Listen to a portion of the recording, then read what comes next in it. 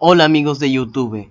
Bueno, este video es para avisarles de que este próximo domingo 31, este próximo domingo 31 de octubre estaremos en directo por aquí, por este canal, a las 3 de la tarde hora de República Dominicana. Estaremos en el directo de Virtual Escritoria, así que no se lo pierdan chicos.